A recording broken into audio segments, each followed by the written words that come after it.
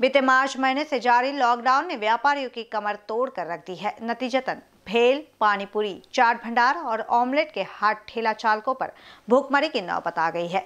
ऐसे में इस विषय के संदर्भ में दिग्रज तहसील कार्यालय को ज्ञापन सौंपकर भेल, पानीपुरी, चाट भंडार आदि व्यवसाय शुरू करने की मांग व्यावसायिकों ने की है। कोरोना संक्रमण के प्रादुर्भाव को रोकने के उद्देश्य से मार्च महीने से शुरू हुए लॉकडाउन से लोगों की आर्थिक स्थिति चौपट हो गई है। बड़े और छोटे व्यवसाय सहित हर कोई आर्थिक समस्याओं से जूझ रहा है। ऐसे में भेल, पानीपुरी, ऑमलेट आदि व्यवसाय भी व्यवसाय ठप होने से घोर आर्थिक संकट के शिकार हो चुके हैं। इसी के चलते शुक्रवार को दिग्रज शहर के भेल, पानीपुरी, ऑमलेट आदि छोटे व्यवसायिकों ने उन्हें व्यवसाय शुरू करने की अनुमति प्रदान करने की इजाज़त दी जाए। ऐसी मांग को लेकर स्थानीय तहसीलदार को ज्ञापन सौंपा।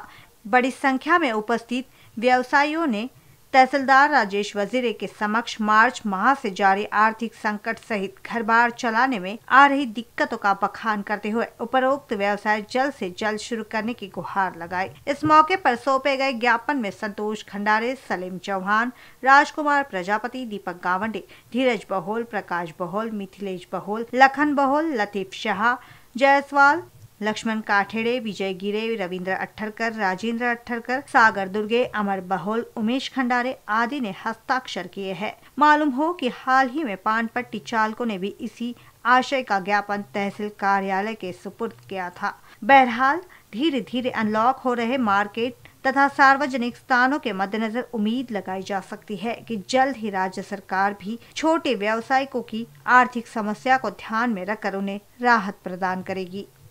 इन बीच न्यूज़ के लिए जुबैर खान की रिपोर्ट।